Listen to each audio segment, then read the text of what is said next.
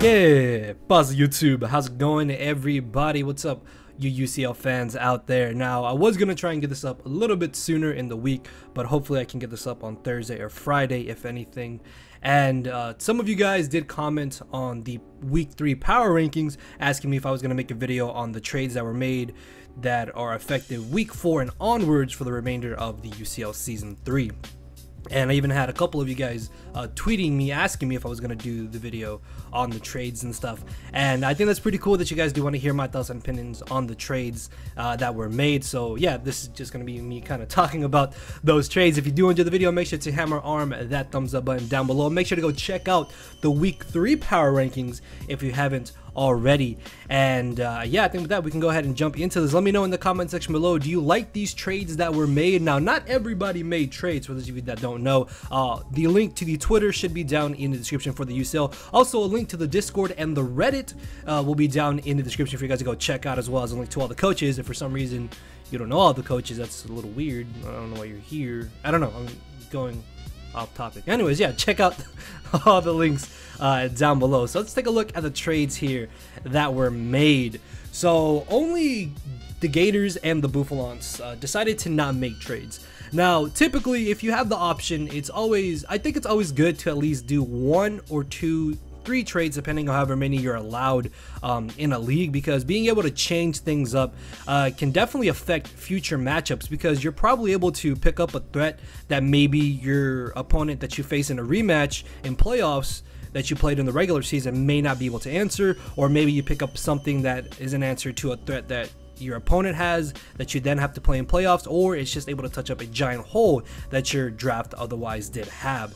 So I don't necessarily agree with uh, the Buffalons and the Gators not making trades. Like there was definitely some things they could have picked up. Uh, for example, I know that Nick did want Palossand. Unfortunately, though, Twit ended up getting Palossand, but I still think he might have been able to get at least another type of Stealth Rocker out of the NU tier. And then the Gators, I'm not really too sure what exactly PK would have been able to drop to get something good. Like, he's got five fighting types. Honestly, PK's draft has been kind of impressing me. PK as a player lately has been impressing me. So I'm guessing he does know, or he does have a general idea of what he wants to do with this draft. So uh, I guess I can kind of get behind him not really wanting to make any trades. Although if he was a man, he would have dropped Rotom Wash for Keldeo, but I'm just saying. So yeah, with that out of the way, let's go ahead and get into the teams that actually did make transactions. So for those of you don't know, uh, everybody was only allowed to make one trade since it was only an eight week uh, season, which is very, very short compared to normal leagues. So they were only allowed one trade leading into uh, week four and onwards of the season. So we're going to start off with the top team here, which is going to be the Carolina Keldeos dropping Porygon 2 for Pangoro. Now, I really like this just because Jay, in my opinion, really did need that dark type on his squad. And I'm a huge advocate that you always absolutely need to have at least one dark type and at least one ground type. Those two are the most important typings in a draft, in my opinion. So definitely try and get those two typings if you are drafting. And Pangoro also did add a form of momentum as well to pair up with the Magneton and the uh, Mega Beedrill because it does get Parting Shot. Actually, Parting Shot is kind of cool because now he may have some way of being able to allow something like Minior to have a much easier time setting up. Uh, Garchomp can set up easier as well as potentially a Blacephalon because Parting Shot is a move that uh, forces you out, but it also lowers the attack and special attack of your opponent by one stage. So that effectively means that they're going to be a minus one attack and minus one special attack as a Garchomp can come in and Swords Dance, or Blacephalon can come in and Calm Mind or Substitute, or Minior comes in to Shell Smash and potentially sweep. So I think that was a really, really good pickup on Jay's part. Pangoro definitely does add a lot to his team. If Jay can play his cards right, like Pangoro could actually be a terror on this type of like bulky, bulky squad here. So he did give up the Porygon 2 bulk, but he did gain a heavy hitter in Pangoro with a base 124 physical attack stat. I'm really hoping that Jay will be able to make Pangoro work because this draft still has a lot of potential. We'll have to see just how Jay um, plays with it for the rest of the season. So moving on to the second trade here that was made, we have the Grand Canyon Greninjas dropping Jellicent for Palossand. Now, as I mentioned, they did kind of snipe uh, Sacred Fire Negro, coach of the Chicago Bouffalons, of the Palossand pick. But Palossand, I think, is actually a very solid addition to the Greninja squad because first off, Jellicent and Tapu Fini, they basically do the same thing. You're never really going to bring them together ever. So if anything, Tapu Fini uh, is definitely the best of the two to keep and he did make a really good pickup with the Palossand because it also gave him access to yet another Stealth Rocker to go along with the Rhydon, the Necrozma, the Celebi, and the Infernape. This can also now open up options for Rhydon to no longer need to always be uh, the defensive Stealth Rocker. The only downside of Palossand is that because of water compaction and how it works, yes, he does gain a defense boost by two stages, he is unfortunately not immune to water type moves. Palossand actually has some really good bulk, 85 defense, 110 physical defense, and decent 75 uh, base Spadef, which is pretty respectable with a base 100 uh, special attack set. I think it does get access to uh, Earth Power. It gets Destiny Bond as well, which is really awesome actually. That could be something cool that um, Twit may be able to pull out here. He does get some cool support moves with like a Rock Tomb, Hypnosis even. I would like to see Hypnosis Palossand. I don't think I've ever seen anybody uh, use Hypnosis Palossand, so that would definitely be very interesting. So hoping that Twit does make this Palossand work on the squad here. So the next mon that we have here is going to be uh, Alomomola being dropped for Primarina by Shady Penguin and the New York Mankeys. Now, this is actually very interesting. I do like the fact that he was willing to drop one of his water types but at the same time, he kind of picked up another water type. Although he did add a very good typing to his squad, which is going to be the fairy typing. It now rounds out his Fairy Steel Dragon Core with Mega Latios, Heatran, and now this Primarina. Uh, at the same time though, like the cool thing is, is that Cloyster and Primarina are kind of parallel in stat wise. Like Cloyster has a skyrocket high defense, as where Primarina has a skyrocket high special defense stat. And they both have decent bulk. Uh, Cloyster typically hits more often on the physical side, while Primarina hits mostly on, or mainly on the special side. So I think that's kind of cool. Uh, they do two different things, like Cloyster can still be defensive. It has spikes, it has a rapid spin. Primarina though, I love Primarina. I definitely think Primarina is an underrated Pokemon in the Draft League format. This thing hits like an absolute truck at base 126 special attack stat, pretty solid bulk, base 116 Spadef, 74 defense, and 80 base HP, being able to run uh, so many different sets, Spec, Scarfed, physically defensive, especially defensive, assault vested, uh, maybe like substitute would be really cool to see. But between Hydro Pump and Moonblast, Primarina is a very scary offensive threat to deal with. If I'm not mistaken, it also gets access to dual screens, which is really cool. Even Perish Song could uh, come in handy in certain matchups if Shady plays it well. So I really, really like this pickup right here. I'm a huge advocate of Primarina. Definitely use the guys. This thing is a monster, and I'm hoping that Shady is going to be able to make this work. So talking about fairy types, the Tucson, Tucson, Tucson, Tucson, no, no, it's Tucson. Uh, the Tucson Terrakions, coached by Nappy Boy 92, is going to drop Tyranitar for Clefable. Whoo, Clefable.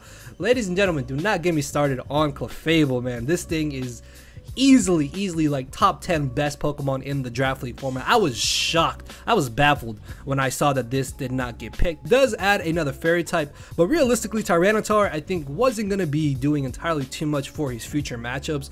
Like Tyranitar, don't get me wrong, is a really good Pokemon. I want to say it's like top 10 in the format, but it's definitely a very uh, versatile mon, being able to run uh, multiple choice sets, uh, setup sets, as well as very effective defensive sets, which is a very, very good addition to uh, Tyranitar in general. But Clefable being able to be that reliable, bulky fairy type that I think his team really needed. Like, yeah, he does have the Diancie, but Diancie doesn't have like the offensive prowess that Clefable can also have. Plus, Diancie lacks any type of reliable recovery, and the four times weakness to steel can make prepping and being able to deal with it very easily uh, for opponents and annoying for Nappy in a sense. So I really do like the Clefable addition. This adds so much to his team. Wish, Unaware is also really good to be able to deal with certain setup mons, Aromatherapy. Uh, it gives them Calm Mind, uh, being able to have another form of setup sweeper. Thunderwave is amazing for speed control. Trick to be able to maybe cripple things is also really good. If he's a madman, he brings Belly Drum Clefable at least five times because it's awesome. no, no, I'm joking, but Belly Drum Clefable could be kind of cool, I guess. Uh, knockoff as well is also really good because if you look at his team, the only Mon that he really had that learned knockoff was Hoopa. Now, being able to have that secondary option is, I think, really good in general because if you can get rid of an opponent's item, if that Pokemon heavily relies on something like a Choice Scarf or Leftovers and you get rid of that item, then that gives you so much benefits in a match and it's going to ensure that that Pokemon is then a lot easier to deal with.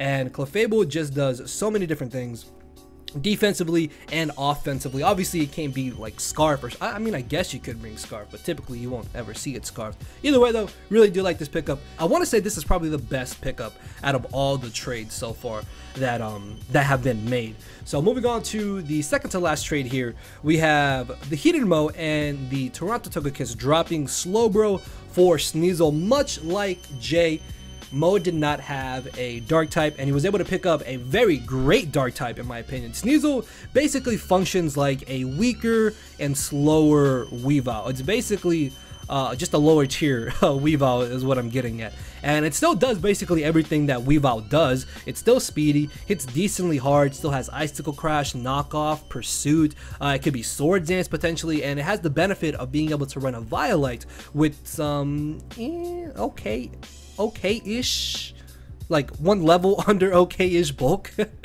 So it's not entirely too bad. It also adds a nice little speed tier to his team uh, to be able to kind of help for future preps in general as well as adding a form of stab priority because the only type of priority he had was Sucker Punch on Nidoking and Ice Shard on Donphan, if I'm not mistaken. But now he's got Stab Ice Shard, and that is really good. Knockoff is just a move, again, that you can spam so freely. So, so freely. So that's pretty awesome and a really good pickup in my opinion for Mo. With his abundance of hazard removal, Stealth Rock shouldn't be a problem for Sneasel whatsoever. And Slowbro with Milotic was just kind of redundant, mostly in the matchups that Mo has had. It's felt like Milotic has better matchups than Slowbro in general. So I feel like him dropping Slowbro doesn't necessarily hurt him uh, any at all, really. So the final trade that we have here, a lot of NU mons got traded. Uh, there was only one OU mon with Clefable. Uh, Primarina is UU, and then everything else was NU, so that's kind of cool.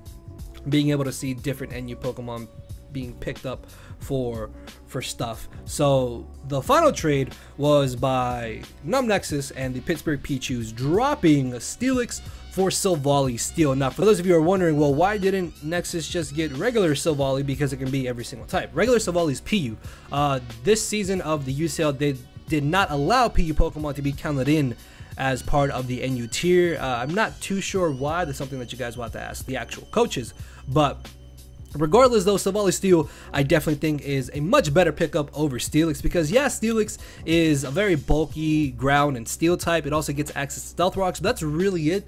Like Steelix is just kind of fat and sits there and he already has decent rockers in Uxie, Nihilego, and the Krookodile that Steelix just kind of was I guess a little bit of dead weight in a sense. At least by having Silvally, he is able to have a bit of a speedier Mon, uh, slightly bulkier on the special defensive side, higher base HP, as well as another form of momentum in a parting shot. And I already covered parting shot with Pangoro.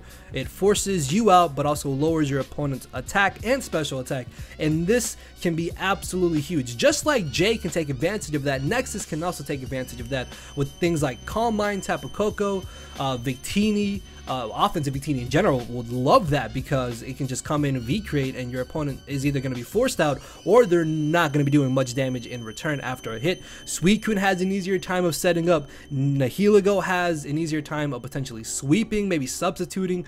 Curselax can set up easier. Zydog can maybe Dragon Dance now. Uxie can Calm Mind as well. So there's so much that Parting Shot honestly adds to Nexus's squad. Plus, Silvally just has a very, very diverse move pool. Also gets access to Swords Dance, which is pretty awesome. So this gives them potentially another form of setup, some nice speed control with Thunder Wave, as well as also giving him a, a, third form of hazard removal, which now takes the pressure off of Tapu Koko and Serena. So that's another really huge benefit of Silvally on Nexus's squad. Yeah, guys, didn't want to make this entirely too long. Actually, it's already a little longer than I had wanted it to be. But let me know what you guys think about these trades in the comment section below. Do you like them? Do you hate them? Uh, what do you think the coaches might have been able to pick up instead? What do you think the Gators and the Buffalons would have been able to get if they did decide to make trades instead of not making trades at all. So yeah, let me know guys in the comment section below. I will be reading all the comments. And if you did enjoy the video, hammer arm that thumbs up button. I will see you all next week with the fourth week of power ranking. So with that being said, I hope you all did enjoy and I will see you all later. So later, everybody. No matter where you're at, I'm not here to make friends, it's time to attack and deplete your HP with a final smash. Don't make me turn around and pull a six foot hacks. six foot, six foot hacks, hacks. Yeah. Six foot, six foot hacks, hacks. Yeah. Six foot, six foot hacks, hacks.